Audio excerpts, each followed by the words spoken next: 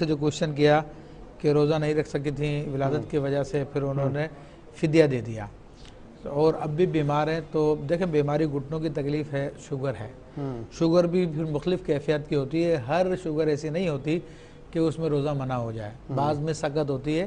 تو اپنی کیفیت کو دیکھیں ڈاکٹر سے مشورہ کریں روزہ رکھ سکتی ہیں تو روزہ رکھیں۔ اس کا ثواب جو ہے نا رمضان کے روزے کا ثواب زمانے بھر کا بھی روزہ رکھ لیا جائے تو ادا نہیں ہو پاتا۔ لیکن بالفرد ایسی کیفیت ہے کہ روزہ نہیں رکھ سکتے بالکل بھی تو پھر ان کا معاملہ یہ ہے کہ اپنے روزوں کی فدیہ دے دیں۔ لیکن رکھ سکتی ہیں تو پھر پچھلے روزوں کو بھی قضا کریں۔